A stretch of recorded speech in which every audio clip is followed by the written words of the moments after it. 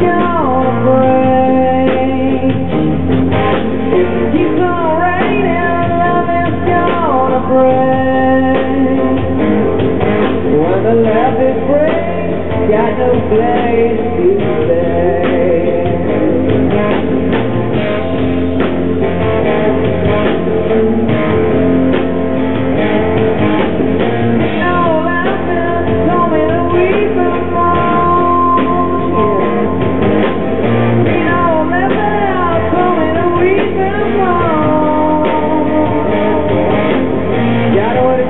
to make it my family to go.